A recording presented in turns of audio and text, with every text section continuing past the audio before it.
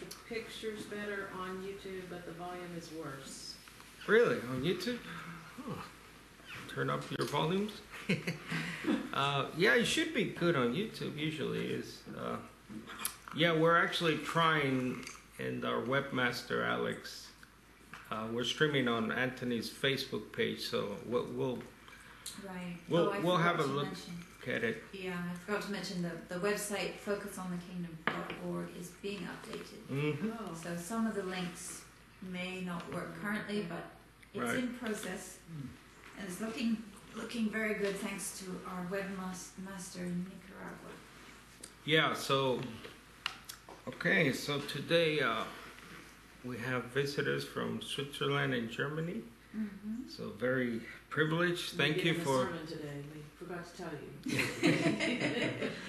In English, please. Chief chief pastor here. So thanks for coming. I know you, it's a long trip, Thank you for expensive us. trips, but Mm. yes, thank you. Okay, so yes, Anthony will be uh, uh, should be back before we end. Hopefully, is there any problem with the links? With That stream Um, flashes yellow. Is it yeah, supposed to? yeah, it is Okay. streaming. Shopping But and just check- stopping and starting is what they're saying. Okay, Shopping and stopping and starting. on the focus site. Mhm. All right. Yes. Yeah, It's- could it's could be the. flashing. Yeah, if you're having issues, just go to the uh, YouTube one. Hopefully that's better. But uh, we'll we'll try and get it fixed post production because I can't right now. So, all right. So today we're going to talk about uh, divine passive, uh, which is just a fancy term, fancy theological term for uh, Jesus' way of speaking about God. And uh, there's a link there. Is there a link on the PowerPoint? I think. Mhm. If you're on the Focus site, you can see the PowerPoints. If you're on YouTube, you cannot see the PowerPoint. So, but uh, I'll upload the recording on our YouTube channel later. But there's a link there to the Human Jesus website uh, that uh, talks about and has some link, links, and also the RF blog spot. I forgot to put it there if you can find it. I put up most of the notes here. And again, I can send all this stuff afterwards. So, divine passive, uh, has anyone heard of that term? Uh, Heard of it? Yep. Can someone give me a their definition of what a divine passive might be? or online, if you wanna join in. It's a way of referring to God without saying God. So, like, I might say, Your sins are forgiven, Right. and I mean by God, but I Mhm. don't say those words, which. Right.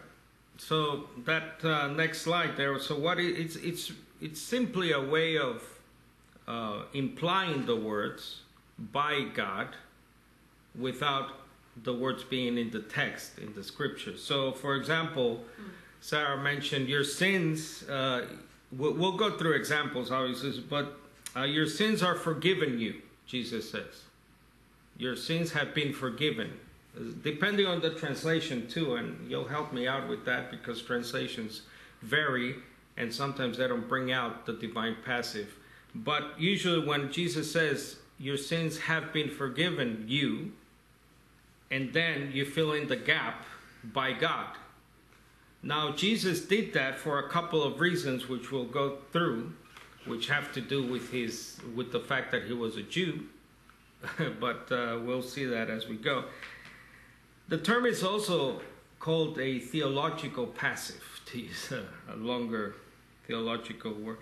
And I have a couple of points there. So it's typically distinctive Jewish terms, as uh, talking about the activity of God the Father.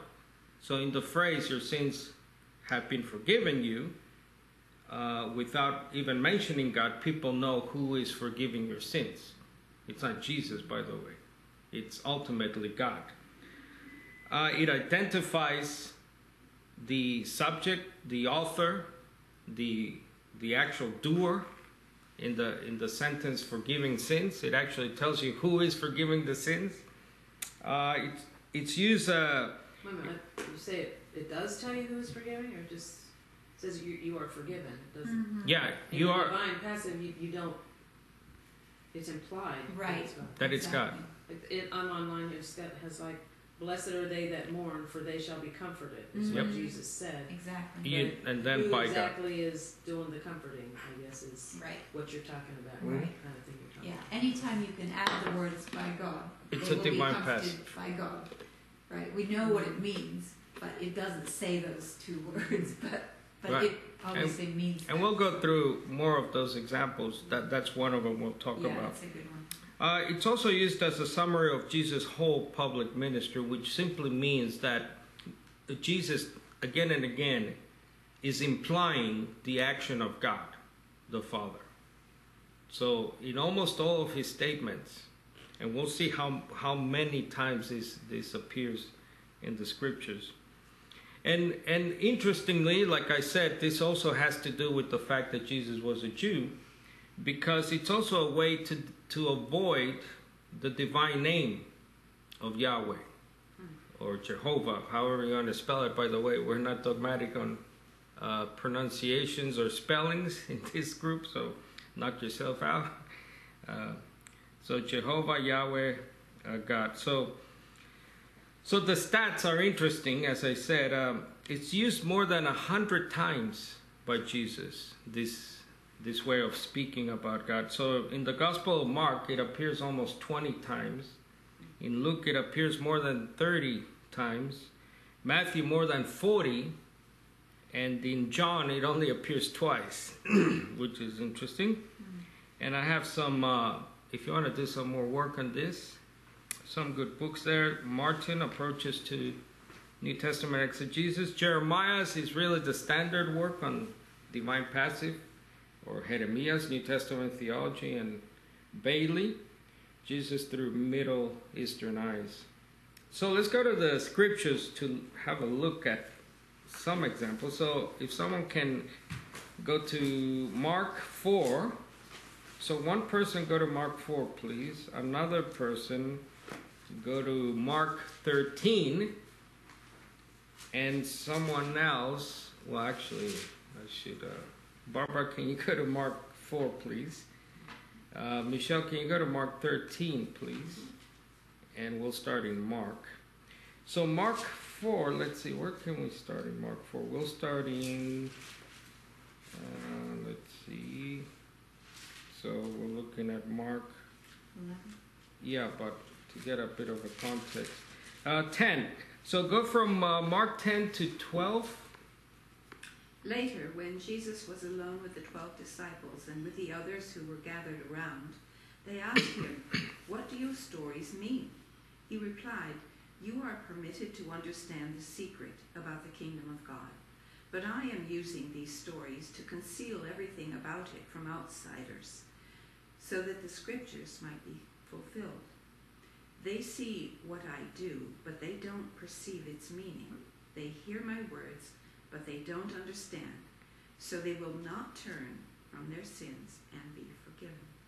Right. Can you read the verse 11 again, please? He replied, You are permitted to understand the secret about the kingdom of God. All right, right there. So, yeah, it's a, it's sort of it, that's the New Living Translation you heard. Uh, another translation says, "To you has been given the secret of the kingdom of God." So there's a divine passive in there. Can you pick it out where it is? To you has been given Yeah. By God. by God. So that that's the divine passive, uh, the secret of the kingdom of God. And then in verse 12, can you read that from the NLT? I think it.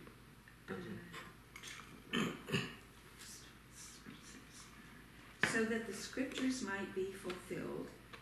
They see what I do, but they don't perceive its meaning. They hear my words, but they don't understand. So they will not turn from their sins and be forgiven. by God. so you add the by God uh, phrases. So there's two examples there of Jesus talking about God, and and li- remember most of his listeners are Jews like himself, so they get it. It's very simple. That's why there's a verse in Matthew I forgot where where people were rejoicing and thanking God for giving such authority to human beings. Uh, so they, they well know that Jesus is not God, right? He's always talking about the God, the one God. Uh, go down there, same chapter, Barbara, please, to read from verses 21 to 24. A lamp on a stand. Then Jesus asked them, Would anyone light a lamp and then put it under a basket or under a bed to shut out the light? Sorry, uh, to till verse 25. Okay. 21 to 25. Of course not. A lamp is placed on a stand where its light will shine. Everything that is now hidden or secret, secret will eventually be brought to light. Anyone who is willing to hear should listen and understand. And be sure to pay attention to what you hear. The more you do this, the more you will understand, and even more besides. To those who are open to my teaching, more understanding will be given. But to those who are not listening, even what they have will be taken away from them. By God. My God. Mm-hmm. Uh, you also had in verse 24, I don't think that one helped, but another translation, of verse 24, it, would be, it will be measured to you by God, and still more will be added to you by God, is the implication. So there's actually three just there those two verses uh, implying God. So, If we go back to verse 11, just make the point that Jesus says the kingdom of God there. So it's not that he avoids saying God. mhm. Um, 'cause some people might take this too far. right, right, yeah. it's Uh, not that o- obviously, he wouldn't say God. Obviously, Jesus probably said in his Heb- in his native tongue, Adonai Elohim. He probably said that. Right. I doubt he said the name, by the way. I don't think he, as a Jew, would say, however they said Yahweh over. No, he probably said in his native tongue, Adonai Elohim. Right. In the Greek, he said Theos, and that, that's about it. So, yeah, it's not that he's always avoiding the word God in itself. Yeah, thanks for picking that up. I'm not. I don't want to sound like, but obviously, yeah, that's a good pickup there because he obviously says kingdom of God.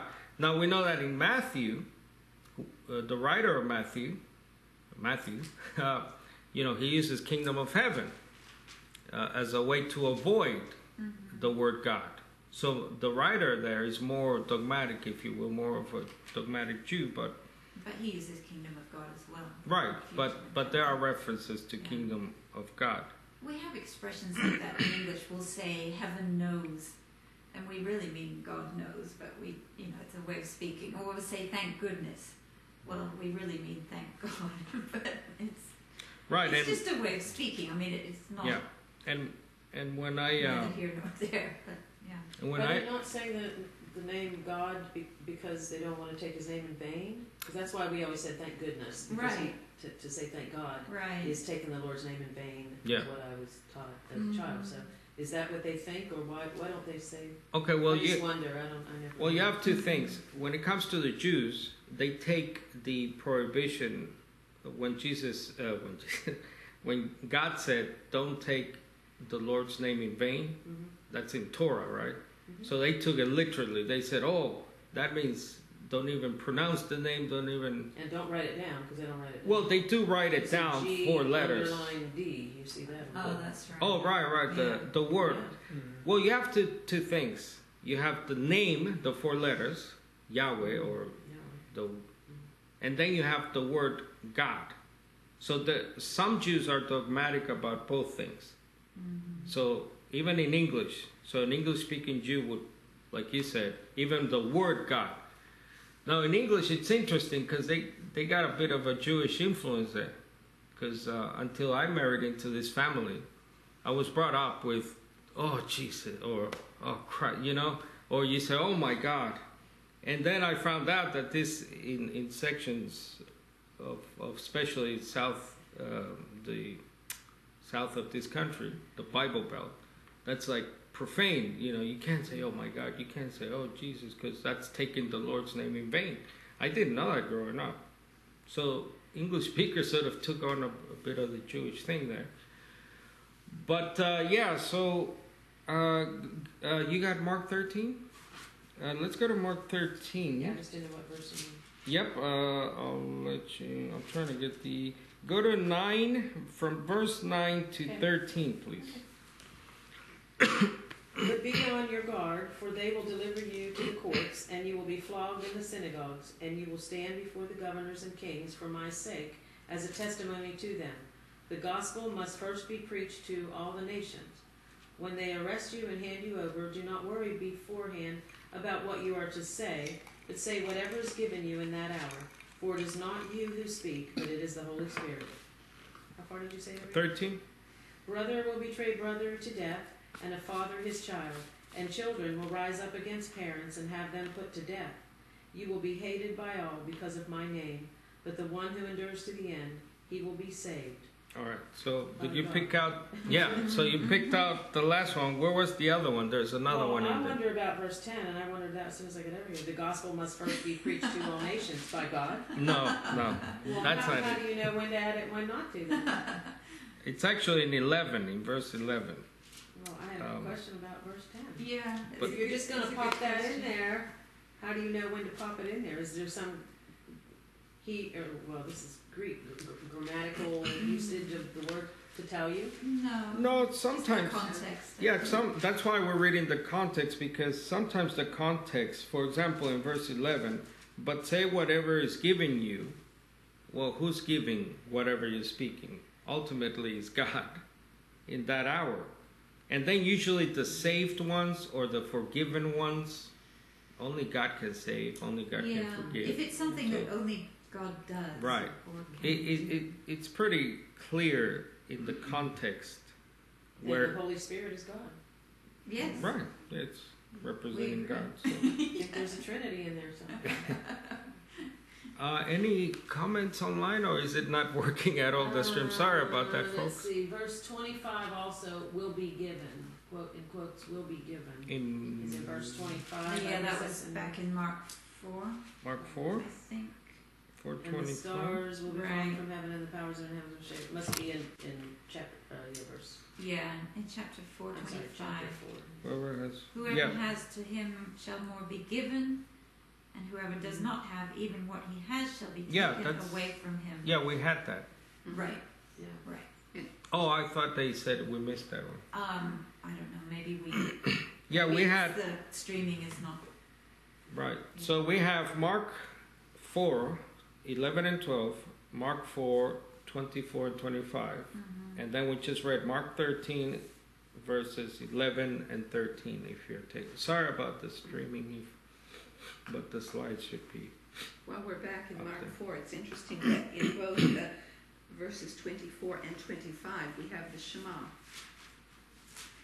Uh, here, Mm-hmm. Shema. And listen. Yeah, And, and it's emphasized. I mean, it's, it's one of the, it's, it's, it's the key. Take Mhm. care what you listen to. yeah. It's a command word. Mark 12 also. 12:29. Mm-hmm. Mark 12:29. Jesus quotes it. The Mhm. foremost. Mm-hmm. Hear, O Israel, the Lord our God is one Lord. Mhm. Um, And and you shall love the Lord. I mean, Yeah. so he kind of adds to the creed, doesn't he? He's uh, Jesus. in Mark then. Mhm. Well, that's in Deuteronomy 6, uh, 4 to 6. So it's all. Actually, they. The Shema proper was uh, I guess that's Deuteronomy that's 4 and Le- uh, a section in Leviticus. I forgot that traditionally they mixed to recite the, the whole of the Shema, as they call it. Uh, Ephraim, can, do you want to read some? Uh, go to Luke 11. Alec, do you want to? And Luke 13. So Ephraim, Luke 11. Which was? And we'll go to, uh, just give you the context. Luke 11. Four mhm. Let's see. Start from verse Not the same thing. 47 to 51, please. I have a web translation. Maybe it's a bit different. I don't know. What translation? Web translation. Web. It's the only one I could get. Oh, the free. Uh, Oh. Ah, it should be. We'll see. 47 to 51. Yes, sir. Woe to you, for you build the tombs of the prophets, and your fathers killed them. So you testify and consent to the works of your fathers, for they killed them, and you built their tombs. Therefore also the wisdom of God said, I will send to them prophets and apostles, and some of them they will kill and persecute, that the blood of all the prophets which was shed from the foundation of the world may be required of this generation from the blood of Abel to the blood of Zechariah, who per- perished between the altar and the sanctuary. Yes, I tell you, it will be required of this generation. Right. So, Mm. can you pick out the, the divine passives there? It shall be charged against this generation Right. by, by God. Right. Mhm. So both times, 50 and 51. Your translation is almost the same. Yeah, it's good, good translation.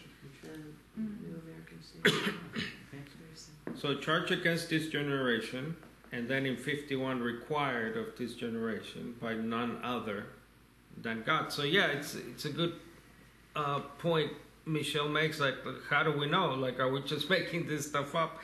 Uh, well, no. Usually, it, it, it is only an action by the author, the the uh, author of all things. That's God. Uh, Luke 13. Actually, it's Yeah. um, it's also said in f- f- verse 49 that God is saying this, so it's Okay. not even uh, hidden here. Right. That's God, true. Wisdom of God said. So Mhm. all what comes after that um, is said by God and Yeah. done by God. Okay. That's a good point. Yeah. So is the wisdom of God a person then? Mhm. So we have another person. in Right. the You know, you know, Sophia. she's the she's the woman in. Right. It's a, it's a she. trying? So yeah. Yeah, Apparently we have a she in the Trinity as well. of course. Uh, Sounds uh, like a uh, it does. Yeah. Randy um, says, good point. I'm not sure about which thing, but um, he says, by Jesus' frequent use of the divine passive, the people knew that Jesus was not referring to himself as God. hmm Now, Yeah, that's just to go back on, on the first example, your sins have been forgiven you. Uh, there's a bit of, well, there's always a debate in Mhm. theological school. But uh, so, did Jesus forgive sins? Now, there are examples, I forgot to uh, log them down, I think twice, maybe thrice. Uh, Jesus says explicitly, I have forgiven your sins in Matthew. But usually he uses the divine passive in relation to healings and, and saying, uh, declaring that your sins have been forgiven you. Now, the one he does use in Matthew where he does say, I have forgiven your sins, he goes on to say, I think immediately, because God has given the Son of Man authority to do this. So even though it's a sort of rare instance where uh, the author of salvation and forgiveness is is someone else than God the Father. In the context of it, Jesus, and that's what it's always left out of these Trinity conversations. Jesus is God conversations, the context, it's always left out. Jesus clearly says, Because I have authority, God has given the Son of Man, and he uses the title Son of Man, which is an important title, as we know. He's the human being, the representative human being. And that, That's Mark two ten. you want to read that? But so that you may know that the Son of Man has authority on Well, actually, sorry, can you read the context? Oh, okay, the whole thing. Yeah, Mark 2. Okay, Yep. 'cause, yeah, they're upset because they think he's Yeah, blaspheming. read, read the context. From 8, please. From Mark 2 8? eight, okay, okay, so he's he's healed. Oh, he hasn't healed him yet, but No, they're having go this ahead. conversation. Immediately, Jesus, aware in his spirit that they were reasoning that way among, within themselves, so they were reasoning that he was blaspheming. He says, "Why are you reasoning about these things in your hearts? Which is easier to say to the paralytic, Your sins are forgiven?" Actually, that's a divine pass. That's true. By or to God. say, Get up and pick up your pallet and walk. But so that you may know that the Son of Man has authority Yeah, on that's- earth to forgive sins. That's not the one I was referring to. In Matthew, Ah, Well, Luke five twenty. in Matthew, he, he doesn't use the divine passive in reference to forgiving. This, that's obviously a divine pass. Uh, but still, he, he says what he says there. So, and then may, maybe someone can. Uh, just before we are we still in Luke? I think uh, 13. One second. just to finish the Um, Luke gospel. 20, he allows the disciples to forgive anyone's sins. Right, yes, Yeah. So, Yeah, um, he gives, That's them a- He gives authority. power. Yeah. exactly. Yeah, we can forgive sins. Uh, by the way, the the priests in the temple forgave sins, so it's a priestly function. So what does that make But isn't make it us? God forgiving the sin and just the people or Is it odd? Jesus is it saying God? God. Jesus is saying that your sins are forgiven, that you'll have power to forgive sins, but isn't that just calling on God's power? Mhm. Yeah. That God does the forgiving. of the Ultimately, it sins. all goes back. he gives back. authority Yeah. to other people Yeah. to, to do. to tell Yeah. them their sins are forgiven, Mhm. to actually do the forgiving of the sins. Right. It's like when he sends out the yeah. The seventy or the seventy-two, depending on the manuscript. Mm. Uh, it, it's all delegation, right? It's hierarchy. It's the God, and then His Son, and then the rest. Uh, just to finish on I think it's The um, it's coming to the point to give honor to God. Jesus gives honor to God in everything he does. So Right. shall we? Yes. yes. Yeah, Mm. uh, but in the context of this, though, it, it's simply saying I'm not the author of uh, forgiveness and salvation and judgment. By the way, Mm. even though I have, I will be given those. It, it, so it goes beyond sort of the honor. It's just, just a simple statement of fact that Jesus is the human being, and He says, "Look, my God, our God sent me," and so it's yeah. Uh, let, let's finish uh, Luke 13. Uh, uh, let's see, where were we? Can you go down to, uh, see, to get the context, 28 to 30, Hmm. please? Okay, I have here the NASB version. There will be weeping and gnashing of teeth there where, when you see Abraham and Isaac and Jacob and all the prophets in the kingdom of God by yourselves being cast out. And they will come from east and west and from north and south and will recline in the kingdom of God. And behold, some are last who will be first, and some are first who will be last. All right, so the passive there is all the prophets in the kingdom of God, and you yourselves cast out by God. Uh, jump down there to Alec to let's see, let's go down same chapter 34 to 35, please.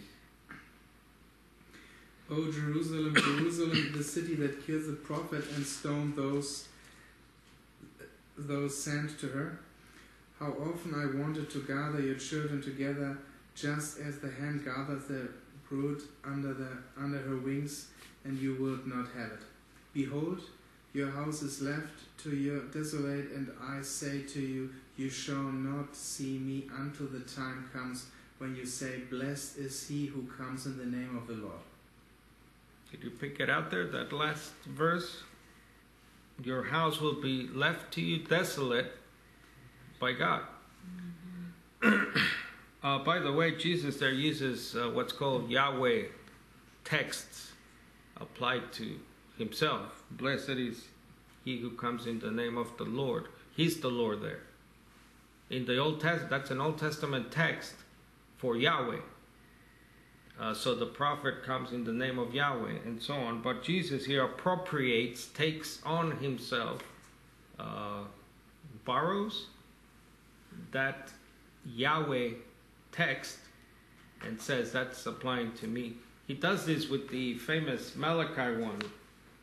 Uh, is it Malachi about the the oh uh, the baptizer John the baptizer uh, when he says I'm preparing the way for the Lord remember? Yes.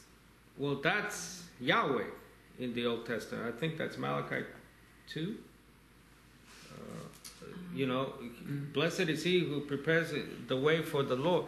That's Yahweh that's Adonai. But there the baptizer John says it's the Messiah. So does that mean the Messiah is Yahweh? Well, you make up your mind about that. That that's why this there's a this mess we're in, right? With with who is Jesus? Because it's true. Jesus takes on all the things about Yahweh, but that's why I'm showing you this because this is a something that Jesus himself uses time and again a hundred plus times. So why is he doing that if he himself is is Yahweh? And then uh, we'll look at a couple more in Matthew, and then uh, time permitting. This is all I'm setting you up, by the way. I'm just being Mhm. honest here. I'm setting you up to a, a broader point I want to make here uh, of something that the biblical Unitarian community we represent are still sort of divided on. But Mm. I just want to throw this out. First, lay the groundwork. Are- Are you going to cover Luke five twenty four? You you can if you want. Well, because we were talking about this earlier. Um, it's when he Jesus goes to the paralytic and he tells him, um, you know, friend, your sins are forgiven you. Mm-hmm. The scribes and Pharisees begin to reason, saying, Who is this man who speaks blasphemies? Who can forgive sins but God alone? Right. But Jesus, aware of their reasonings, answered and said to them, Why are you reasoning in your hearts? Which is easier to say, Your sins have been forgiven you, or to say, Get up and walk? But so that you may know that the Son of Man has authority on earth to forgive sins, Mm-hmm. he said to the paralytic, I say to you, get up and pick up your stretcher and go home. And um, That's the same story they were all struck in Mm. astonishment. Sarah read in Mark 2. Yeah, 25, The same one. Yeah, they Yeah. glorified, and they glorified God. Right, Mm-hmm. right. They didn't necessarily go. Now, the, on on online, when I looked up this, they said yes because he's the second part of the Trinity. Because he's God incarnate, so yeah, he has authority to forgive sins because he's God incarnate on earth. Right. This little article just Sure. over here. Look, again, But that's not what this says. They're glorifying No, it God, doesn't. not glorifying the, Jesus as God. the temple priest, by the way, the high priest, in his uniform, you know that Torah, under the law of Moses, the priest uh, wore a specific type of uniform, what we call uniform today. And did you know that on his, uh, I forgot the headgear, what it's called, but on that headgear, the the priest had the divine name. Did you know this? He had the name, which meant he was Yahweh, the priest. This is in the Old Testament. So, yeah, it's it's just a um, a failure to research, I guess, or, or look at the broader con. It, again, it's not an English book we're dealing with. It's not an English book. It's not an English culture. It's not a Spanish culture. That's But- why the Matthew version is really good. Matthew 9 8 of that same story about the paralytic. hmm When the crowd saw this, they were awestruck and glorified that's the God who had given such authority to men. Yeah. So the crowds get it right. By the They way, the yeah. on. By the way, the crowds usually get it right, and the guess who gets it wrong? The Mm. teachers. Yeah. Well, Or that's, that's why they used that example online, where it was talking about Jesus forgiving sins. hmm When I googled that, that's why they gave that example because they were able to easy, more easily make Jesus being God. Right. If, if you don't use the But Matthew if you version. at the Matthew one, it's like no man, he gave it to man, a man, Jesus, man. uh, yeah, the the crowd knew when when uh, Jesus asked the apostles, "Who do the crowd say I am?" The crowd, not the teachers of the law. Well, you remember the response? Was any of those responses, "Oh, they think you're God"? No. Matthew 16. Yeah, they, they no one said. He's asking about the crowds. So the crowds get it, but the teachers who are supposed to be teachers don't get it. Let's go to one last one before I set you I give you the setup. Matthew 5. In Matthew 5, in chapters 5 to 7, by the way, the famous Sermon on the Mount, which is the law of Jesus, that's our Torah. This is the, the Torah of the Christian, by the way, chapters 5 to chapter 7.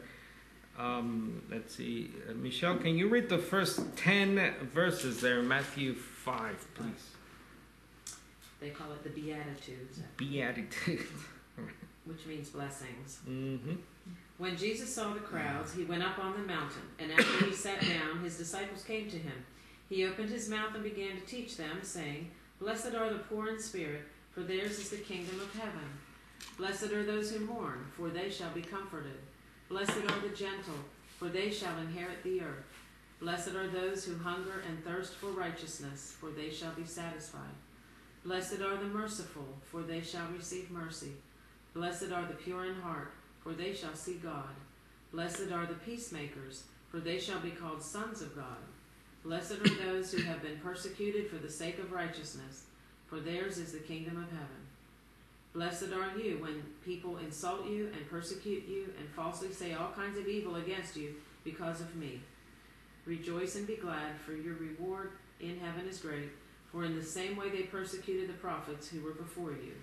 I don't know how much you want. Yeah, that that's good. Um, yeah, so note the heaven, right? What I said about Matthew using heaven. Yeah. So let's see. Um, I got here That verse. The kingdom of God, though. Right. I got verse 4, will be comforted. Right. Uh, verse 6, they will be satisfied. I got verse 7, they will be shown mercy. And I got verse 9, they will be called by God, children of God. Sort of a double repetition there. Uh, if you go down, uh, Michelle, to that same chapter, there's one more that's sort of hidden. Go down to 27 to 30, verses 27 to 30. You have heard that was said, You shall not commit adultery. but I say to you that everyone who looks at a woman with lust for her has already committed adultery with her in his heart. If your right eye makes you stumble, tear it out and throw it from you. For it is better for you to lose one of the parts of your body than for your whole body to be thrown into hell. hmm If your right hand was that it? makes you stumble, cut it off and throw it from you, for it is better for you to lose one of the parts of your body than for your whole body to go into hell. Right, so the one that's, it's verse 29. Uh, can you read that verse again? If your right if eye. your right eye makes you stumble, tear it out and throw it Mhm. from you, for it is better for you to lose one of the parts of your body than for your whole body to be thrown into hell. By God. By God. So that that's the one there. Uh, let's go to 25. Uh, uh, Barbara, please. Chapter 25. So this is uh, the famous sheep and the goats leading into the sheep and the goats. So starting verse 29 and yeah, from from verse 29. Barbara, please. Through what? I'll let you know. Okay. to those who use well what they are given, even more will be given, and they will have an abundance. But from those who are unfaithful, even what little they have will be taken away. Now throw this useless servant into outer darkness, where there will be weeping and gnashing of teeth. Sorry, I, I forgot. So the previous verse will be taken away Mm-hmm. by who? By God. Uh, go down to verses 34 and onwards, please. Same chapter. Then the king will say to those on the right, Come, you who are blessed by my Father, inherit the kingdom prepared for you from the foundation of the world. So right there. It's hidden. Uh, and then go down to 41 forward, please. Then the king will turn to those on the left and say, Away with you, you cursed ones, into the eternal fire prepared for the devil and his demons. By God. So that that's in so that's chapter 25 29 34 and 41 uh, it helps if in your bible because most of us now use this sort of stuff. But it, if you got a bible it's nice to color that in and just take note of the of the passives there. Any comments or Um, we've got, um, um, Etienne, milk, no sugar, no sign, said the gospel we, will be preached equals a human passive instead of divine a passive. human right It's Right. good, because it will be preached yeah by Yeah, us, it will be right? So- Good one. So Oh, very it's- good. So it's Human human passive. passive there. Yeah. Um, Matthew nine eight indicates the power to forgive sins could be given to men. I think what we just read Mhm. several verses there says Mm-hmm. Yep. gave me authority to forgive sin. Um, and let's see, Paul in Romania says, I believe we can we can forgive the sins committed against us, but not the ones committed against God or other people. Yeah. Well, Because we do have we forgive people who yeah. sin against us. mm. Yeah. Well, So there is a forgiveness there that's this might be a bit off topic. forgiven forgiveness.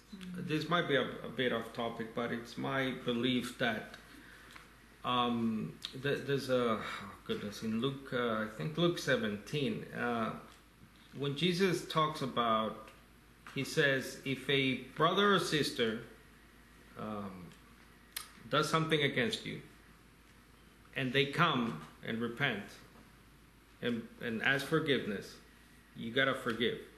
And then the apostles say, well, what if, you know, they basically come again and again? And Jesus says, look, if they come and ask for forgiveness, uh, what is it, 70 times or whatever times, Seven times seventy. seven times 70, Yeah.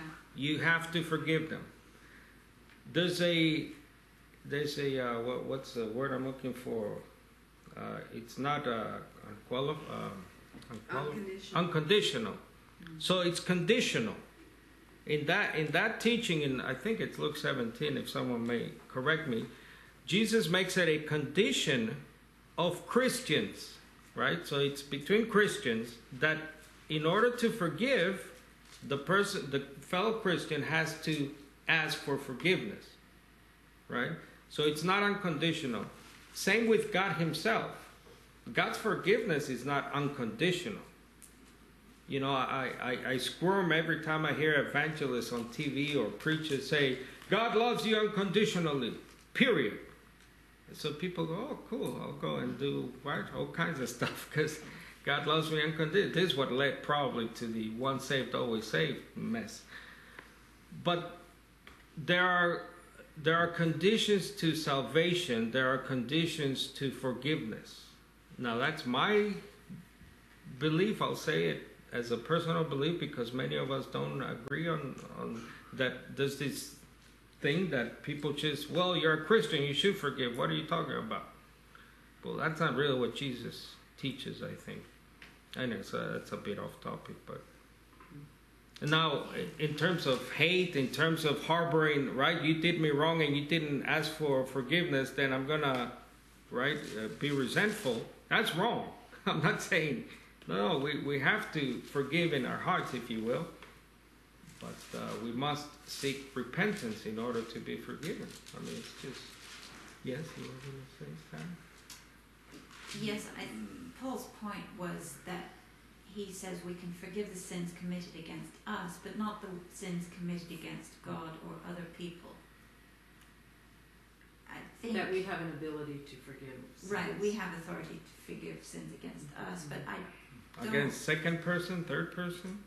right, Basically, but is the question. I think apostolic We have a responsibility. authority maybe maybe the apostles had Broader. authority to yes to Broader, forgive sins against God. Yeah, with, when it comes to. So someone uh, offended Ephraim. Mhm. So can I forgive? I mean, I'm not.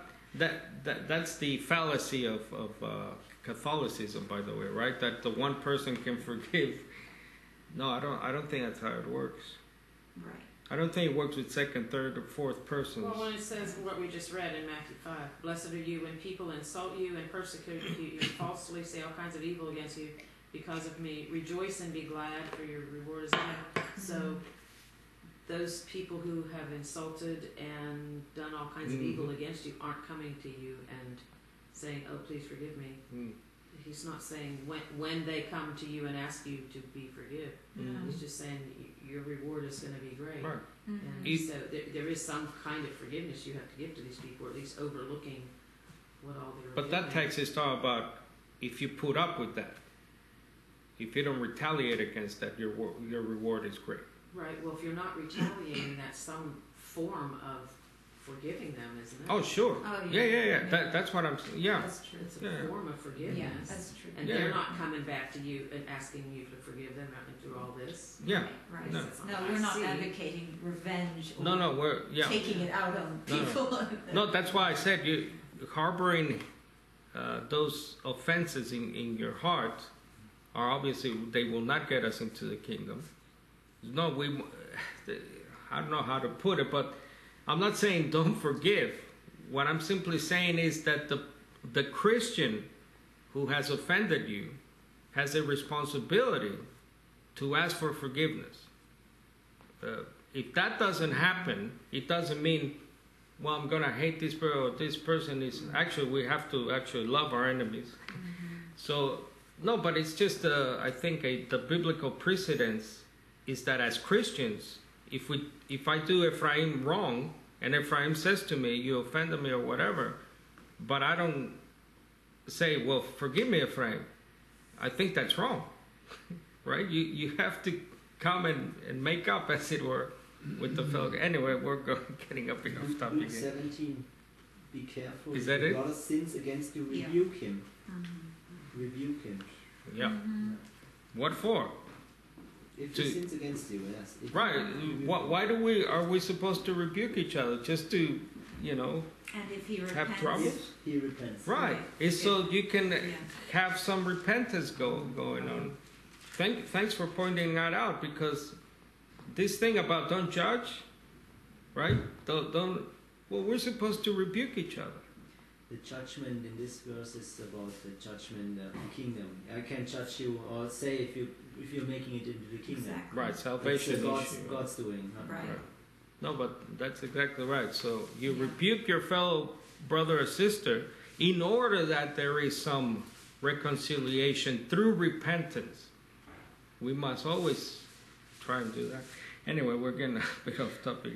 Uh, let's go. So this was a, a whole. This was all a setup, Ephraim. All a setup because we're going to It's Colossians. a teaching moment. Colossians, Colossians one. Colossians, you said? Colossians 1, the infamous or famous Colossian hymn, or however you want to call it. Uh, let's see, Alec, you got a nice, easy version there. Can you start from verse 15? Colossians 1, 15 to 20, please.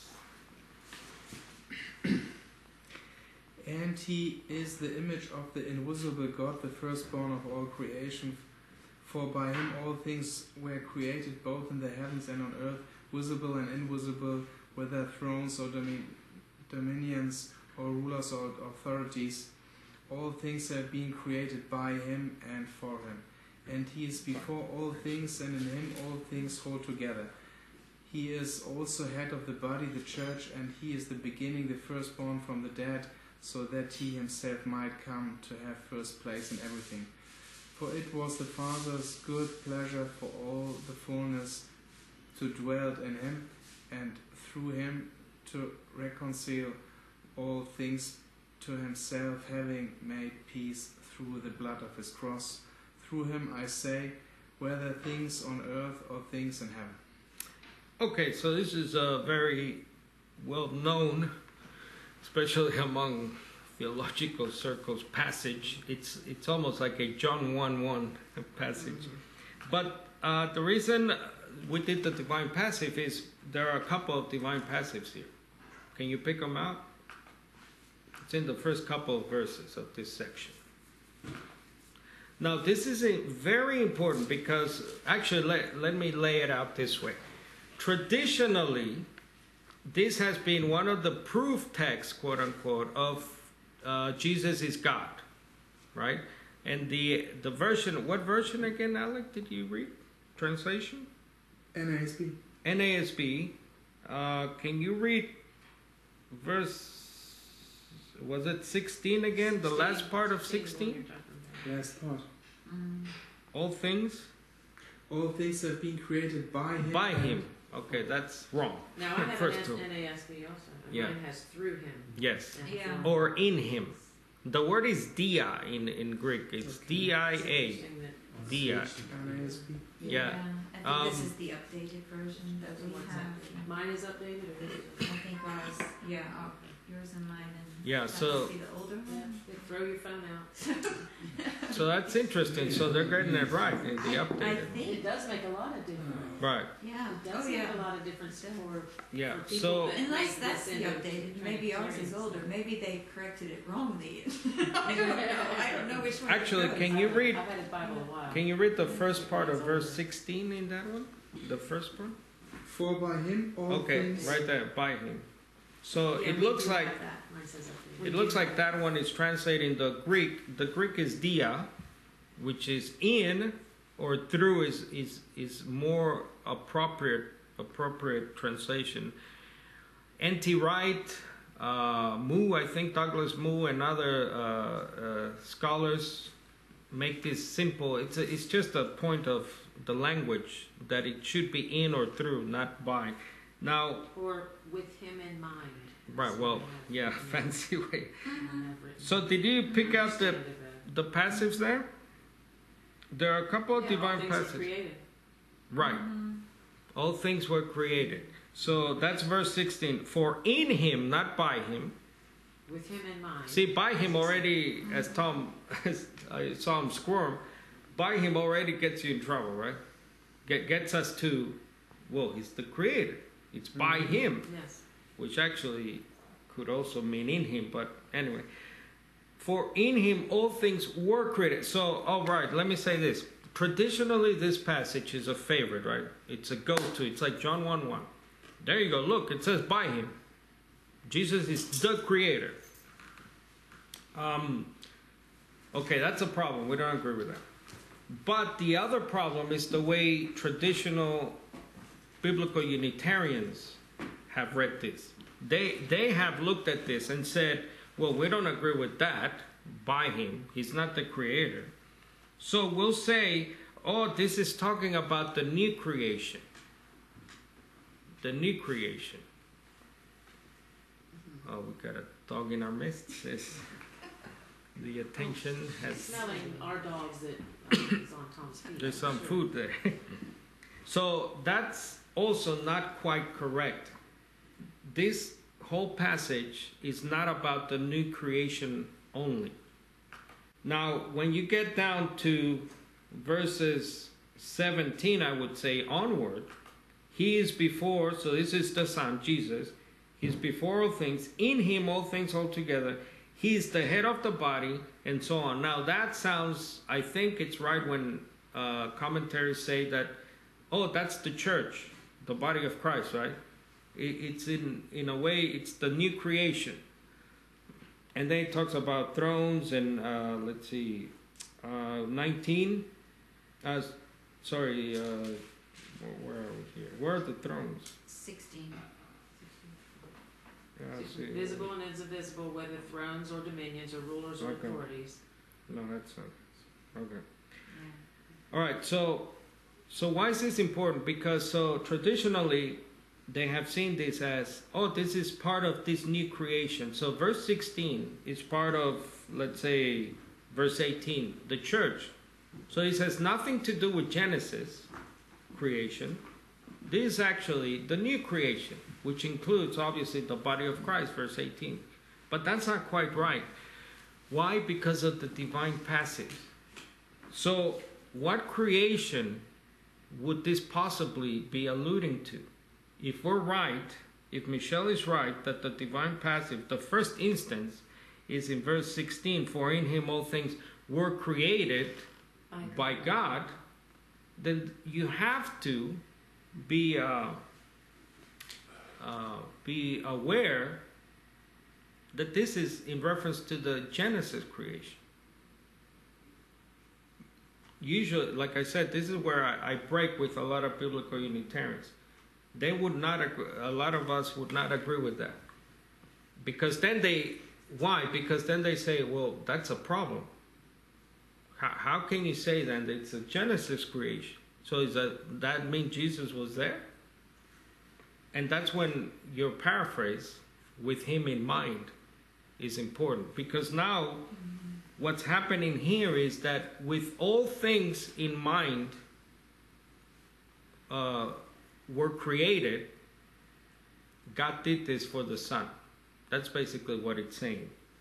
Things in heaven, on earth, visible, invisible. So all things God had in mind, all creation He had in mind to give to the one man, to the one human being who first messed it up, the first Adam. And he's called uh, the Son of God, by the way, in Luke. Adam is the Son of God as well. So he had this in view for his Son, God. But then uh, now it's applied to the to the Messiah. The second divine passive is all things have been created. So all those things, Genesis creations, they stand created, they remain created. And then verse 17, he is before all things, not in terms of time. Obviously, he wasn't there physically, literally, or else we wouldn't be biblical Unitarians. But again, this is where Michelle's with him in, in mind comes into view. And then note that it's always through, it's always in. So it's always in mind, it's always with in the mind of uh, of God. He had his son. First Adam messed it up, and then the second Adam succeeded. Uh, am I making sense here? Yeah. Some I have a note in here, and I don't Agree. know where I've got it. The, the phrase where it says, at the end of sixteen, where it says, all things have been created through him and for him, I have, those are future things. hmm. No, I think we just, you just said that they weren't, and I, I don't know who told me that. Okay. Yeah, I don't. I think that's part of the divine passive of the first part of this verse. All things have been created. Well, they were right. If we're talking about Genesis, which is we picked up the all things were created by God. Maybe the for him, meaning all the things for him in the future, like all the things that are the coming, coming, the kingdom and all that, Mm. will be Mhm. for Jesus as Mhm. far as, Mm, um, I don't know, I don't know why. I okay, have to ask Anthony, because most of my notes come from him, but I don't know. sure. maybe not. Uh, actually, in connection to that, just just hold it right there. Let's go to Hebrews one, because you just reminded me. Here's a good parallel to the in Him. Um, the how the Son is the centerpiece of everything, really, from the Genesis. Again, we have to include Genesis in Colossians one in this section. We we have to, not just because of the divine passive, but the fact that everything was created for the Son. First for Son of God Adam, who messed it up, and then Jesus. But in connection to uh, Michelle's uh, point here about the future, look at Hebrews 1. Uh, this is the, uh, I'll read from the, uh, let's see, ESV, I think, captures it better. So, Hebrews 1 Long ago, at many times, in many ways, God spoke to our fathers by the prophets. But in these last days, He has spoken to us, it should be in His Son or through His Son. Some translations have by there. Whom He, that is God, appointed heir of all things. See the tapanta, that's the tapanta word that comes up- in Paul's letters.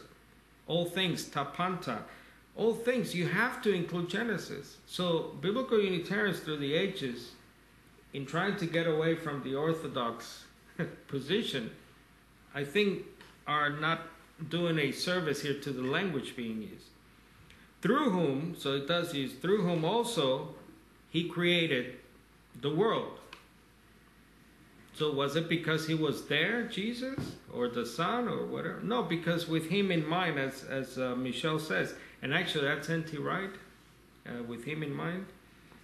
He, now the Son, verse 3, is the radiance of the glory of God, the exact imprint of his hypostasis, by, by the way. That's the only use of that hypostasis word, nature. And he, the Son, upholds the universe, the whole, everything, the worlds, some translation, by the word of his power after making purification for sins. That's actually Colossians 1.20. Alex just read through the blood. He sat down at the right hand of majesty and so on. And then he becomes superior. So that's a good parallel to what I'm saying here. Everything, all the ages, there's an age war here, I think, eons. Um, yeah, so everything with him in mind. Everything. So going back to Colossians 1, the word created is important there, the divine passive, because it connects to this view that all things are in the Son, through the Son, with Him in mind, not that He was the by, the, the actual creator of all things. Verse two, Which is, so you've got the, he was, um, the son whom he appointed heir of all things through whom, mm, and that right there, that's that with him in mind again. yeah, Mhm. With him in mind, also, he made the world, and the world is the ages. hmm And note, So, note that same verse that in the past God did not speak through the Son. Right? right, In these last days, he, he spoke through the Son. So the Son couldn't have been there, according to Hebrews. Uh, let's quickly go to. Can you read those quotes for me? I have a couple of quotes here. Uh, it, with this thought of in mind, with with Christ, with the Messiah in mind, for I have for the sake of Messiah. Uh, this uh, word created, divine passive, uh, Revelation 4:11, and you got the verses there. Revelations 4:11 says God created and things were created. That's a good parallel and other verses there, but can you read the hay one there, please, Sarah? Two passive forms of the verb to create in verse 16 obviously allude to the Genesis creation in verse 15. Jewish tradition had previously said that God created the universe through his wisdom, Proverbs 8, or word, uh, that's Philo. God created the world for the Son, indicative of a divine eschatological purpose. Rabbi Yochanan, 3rd century CE, said the world was created for the sake of the Messiah. This is in rabbinic literature, folks, all over the place. Again, don't believe the preacher, check it out for yourselves. Um, so, here's the purpose of the ages, the Messiah, in rabbinic thought, in rabbinic literature, because it's in scripture, in their Tanakh, in their Torah. So, you have the purpose of the ages, more verses here. We talked about Hebrews 1 2, in, in him, through him. John 1 10, he was in the world. Yes? You good? Yes, battery. The battery. Oh, battery's no dead? battery on that Yes. one. No battery. Did it? Okay, I'll, You just hit the little close. I'll try and finish it. You wanna do it? Just it Thank you. close. Um, John 1.10, he was in the world, that's the Son. The world came into existence through the Son. Colossians 2.3, in Christ, someone brought up Ephraim, uh, wisdom. Uh, I think the wisdom of God. Uh, Colossians 2.3, in Christ are stored all the treasures of wisdom. The Messiah is the agent and vehicle. We got 1 Corinthians 8 6. Where are you getting these verses? Because I don't have these. Is this on a paper you passed out? or- Uh, no, I'm just rattling them out. Okay, because you said we. I thought I missed No, sorry. Uh, I got John They're on the 110. screen, They're but not on the screen. Yeah, I know, yeah, they're not on the screen. not on your screen. Okay. Okay. They're not on the live feed. I, I, I'm not on the. That's not the. Oh, because you that's paused not it. YouTube. No, but I had to refresh, so you're on there now, and Oh, there's no okay. scriptures on here. Okay. So uh, John 1.10, Colossians 2.3, if, if the streaming's not working, let us know. 1 Corinthians 8 6, it's a famous uh, Unitarian. There, there's one God, the Father, from whom all things, that is, all, were created, and we exist through the Son. Uh, 2 Corinthians 5.17, if anyone is in Christ, the new creation has come, and so on. Is the streaming not working? Are people Yeah, stream it. okay? Well, Strange that it's now mine's not on the not. screen. It was. Any comments, or as we head towards the exit here? Does So, through whom imply any casual agency? Causal. Causal, Causal. I'm as a cause. Yeah, I I need know. to fix the glasses here. Right. Causal agency. Yeah, he's he's the was cause. I didn't He- even wonder what that meant. yeah, Yeah, causal agency. yeah, it's a big word there. Causal agent. Yep, he's the agent. He's the vehicle. He's the cause of all of all things. Can you read that divine? Uh, now I want to just quickly, as we end here, talk about the divine name issue, because unfortunately in our community, biblical you, is it it, it has become uh, a sort of an itch that you can never scratch. It's always. Um, so I mentioned uh, at the first that Jesus, as a Jew, probably also used the divine passive a lot because he's a Jew and uh, he probably most likely did not use the name, the four letters, not Adonai Elohim. He obviously used those. Can you read that quote, please? I got a quote here from uh, Too Many Trinities, question mark. Well, she's looking for that, can I give you one comment? Sure. Um, uh, C. Geidemann says, "This is the first time this is making sense for me." Oh, Good. thank As you yes, Jesus is the second Adam. for that. But I think Great. Great. And we're going to see Yeah. I think if he's you've coming not to learned that Oh. that the word "by" there Yeah. means in, through, Yeah. because of, with him in mind, all those things. I mean, that's a big one when you are switching from the Mhm. belief of Jesus pre-existing. hmm Because I mean, I grew up thinking Jesus, Sure. that that right there, by him all things were created. End of story. Close the book. hmm You know, and that you have to learn that that that's not what that means. And we're not all Greek scholars. We read the, Right. the words that we have written in front of us. Right, And you have and taught and taught it Yeah. by people who should know better. right, and from Who are translators scholars who who are sh- biased. Yeah. And you have all those other verses, like that's why I rattled them out. John 1.10, Hebrews 1.2, uh, 1 Corinthians 8, 6, 2 Corinthians 5, 7. They're all through verses. They're all in verses. In Jesus, through Jesus. He's the means, he's the vehicle, he's the causal uh, action. Uh, the divine name, so just quickly, can you read that please?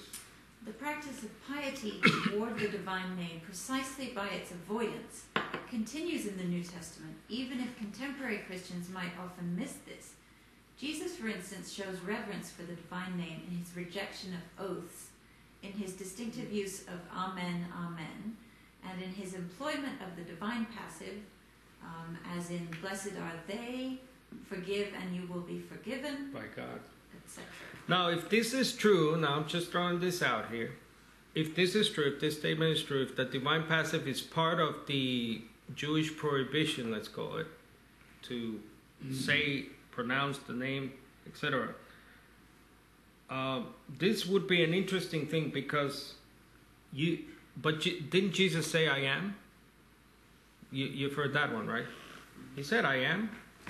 Now, So there's something wrong here because if Jesus actually is going around not just pronouncing the name, but claiming it for himself, saying, I am the. right? Houston, we have a problem. That's an American saying. Houston, we have a problem for our German friends. But the other interesting thing is that God's actual name is not I am. Uh, so if you go to Exodus 3:14, it's the famous one, right? I will be what I will be. That's what Yahweh said. And that's the four letters. I will be what I will be. In Greek, it's translated, the, the Hebrew is translated ego eimi on. And our Greek scholar just walked in and he can correct my Greek. Ego eimi on. Tell them, the Exodus 3 account goes on to say, Tell them, this is God to Moses, tell them the on has sent you. On, not ego eimi, but on. I checked with uh, our he, other Hebrew scholar, uh, Bill Schlegel, by the way, on email, and he was nice enough to verify all this because I'm not a Hebraist. Uh, this on appears again in, in the New Testament in the famous phrase in Revelation to him who is, who was, who is to come. That's in Revelation uh, 1, 2, 3, 4, at least five times. So, the name, if you will, God's name is on in the Greek. It's not really ego eimi. Ego eimi simply means, it's used 15 times, by the way, 15, and I got the slide there. 15 times Jesus uses ego eimi. And in all but one, most translations, like 99%, of the translations, of those 15 times translated, I am He, or it is I, the Messiah. Mm-hmm. Okay? In all those times, except in one place, guess where it is not translated the way they usually translate it everywhere else. So in everywhere else, Jesus says something like, "Yes, I'm He, I am the Messiah," or "Yes, uh, I am He, I am Jesus." Blah blah blah. John eight fifty eight is the one where usually it appears as just "I am," or even worse, some translators have all caps. I am That's I am. That's I am. shouting. Yes. shouting. So isn't that an incredible? Tra- I call it translator bias question mark because uh, that's amazing. I'll finish with the International Critical Commentary. That quote, Sarah, please. Um, I am the Christ, Matthew 24 5. Uh, Mark thirteen six lacks the phrase the Christ, which is here a title, not a proper name. Matthew's edition eliminates the exegetical possibility of taking I am He, ego in me, in me, as a claim to the divine name. So that's a very interesting quote from a very well-known ICC, the International uh, Critical Commentary on Matthew 19, chapters 19 to 20. They're actually admitting what I just said. And, and it's even more uh, emphasized in this verse. In Matthew 24, 5, Jesus says, Ego eimi, O Christos. I am the Christ. and this commentator actually makes the point that it's sort of an additional thing Jesus does there, adding O Christos to take it away from this idea, says the commentary. And this guy, obviously, they're not biblical Unitarians, but they have to admit just a, a, a language fact, a fact of the language here. The exeget, exegetical possibility of taking ego eimi as a claim to divine name, that is just ridiculous. I mean, yeah. So if translators were consistent, they would have Mark thirteen six. Many will come in my name, saying, I am, and will Caps. mislead many. Yes. in caps. Not I am he or I am the Messiah. Translators are, look, you have to be So careful, is your point that, that that is the, using the divine passive, then, then, that we've just learned all this stuff about the divine passive? Are you saying when, when Jesus says, I am? No, no, no. No, Uh, That's not, uh, No, it's different. I, I, I just missed a little because I'm reading right. comments here. No, the yeah, we kind of moved on to Right. different. I, Yeah. yeah, you're losing me because the comments are still about the previous. right. No, I'll, I'll, I'll, Yeah. I'll summarize it this way. Uh, so we looked at the divine passives a hundred plus times on Jesus' lips. So used uh, by Jesus because he's not God. To put it simply terms, he's not God. So he's always talking about someone else who's God. He has a God, etc. It's also interesting in Colossians one because there now we have to uh, concede that there is a divine passive being used there for a reason because all things, not just a new creation, the church or whatever tradition has been, but all things, says Paul in Colossians 1, including Genesis, were created by God. Uh, did it run out?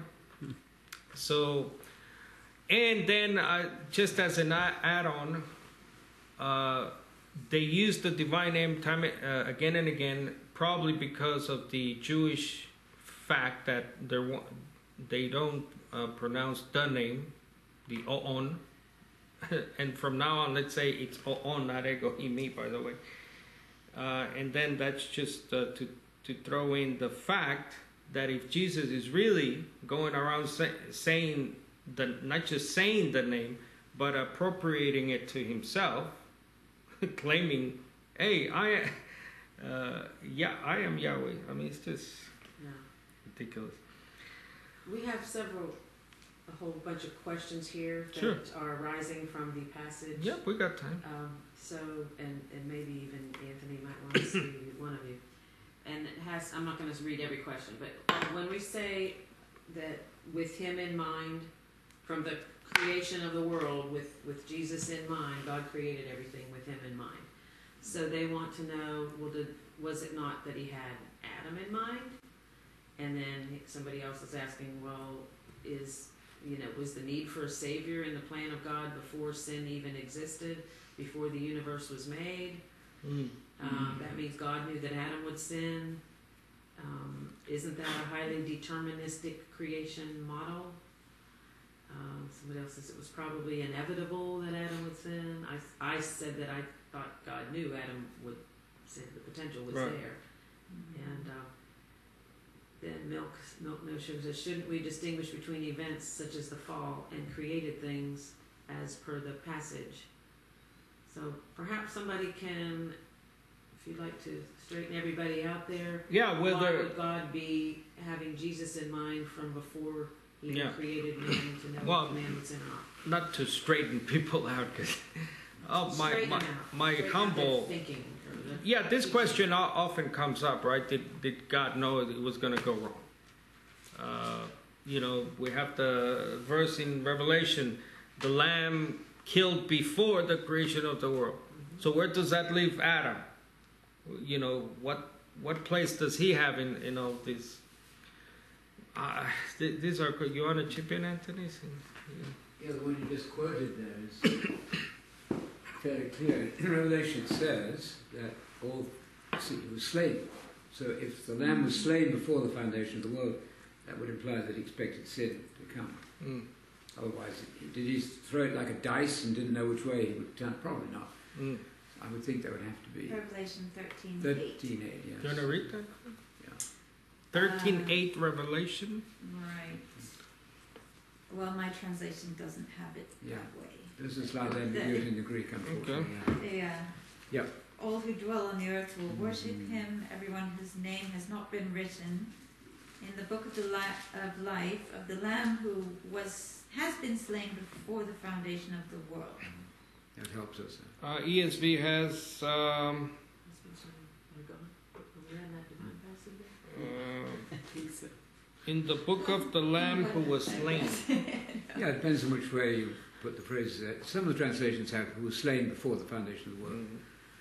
Of course, we prefer that one. And are we throwing a divine passive in there? Was slain by God? By God? No, no, I don't. Well, I don't Some think. we know to toss that in there or not. I yeah, mean, sounds, sounds uh, excellent, yeah. Toss it in. The one on I am, the best one is in John 4. The first occurrence of that I am is John 4.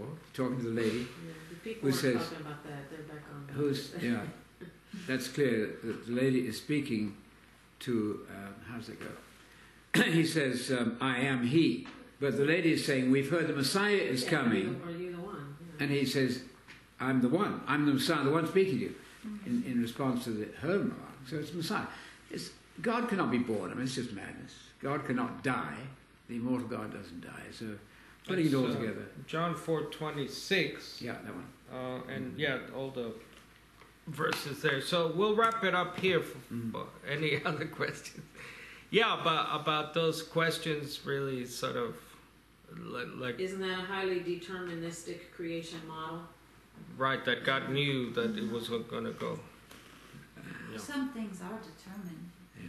We, Yeah. the kingdom is determined. The It's going to Messiah- happen. Yeah, the, And in, God knew the nature that He was going to Yeah. um, create in the beings He was going to create. In, in rabbinic thought, by the way, in, in rabbinic tradition of the Old Testament into the Second Temple of the New Testament, uh, the rabbis taught that not just the Messiah was foreknown, but many other things. The law was foreknown, Mhm. uh, the glory of God. So Mhm. all, many things were foreknown. They taught Mhm. by Yeah. God. Mhm. So yes, there are things. If if you want to use that term, which I don't like because it sounds too Calvinist to me, de- deterministic. Yes, there are some things determined. The major events, yes. The major things, the Messiah is obviously the, the Mhm. biggest.